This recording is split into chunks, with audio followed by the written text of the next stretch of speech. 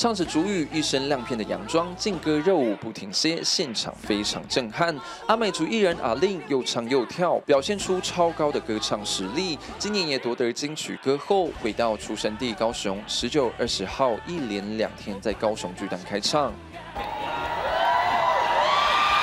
你们等很久了吗？我来了，看到本人开心吗？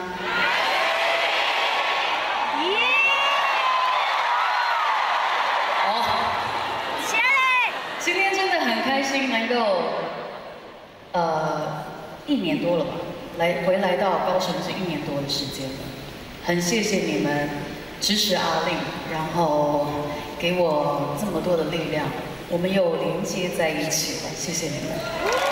对歌迷的感谢，除了用说的，还用唱的。现场不仅听觉的响应外，也穿上火辣的战袍亮相，十分吸睛。展现好歌喉，也献唱新歌首唱，也是最近一部影集《八尺门的辩护人》的主题曲《天亮之前》，感动所有的粉丝。接下来这首歌曲是一个最近我也很喜欢的一部剧，叫《八尺门的》。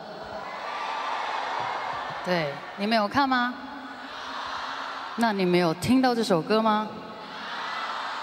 深情的演唱让台下的粉丝好陶醉，一起大合唱。